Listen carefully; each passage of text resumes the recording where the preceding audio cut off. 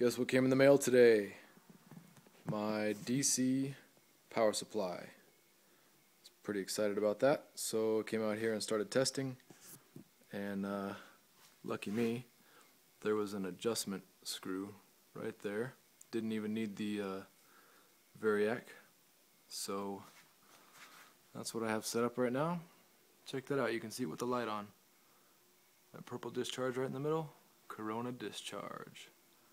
But check this out with the lights off. Yeah, yeah.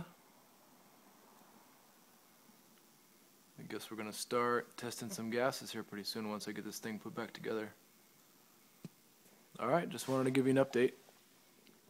Um, I'll probably do some testing with the spiral design here pretty soon. And let you see how that goes.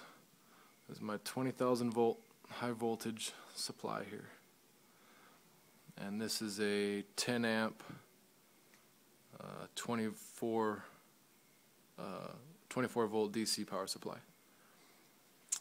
Bam. Alright guys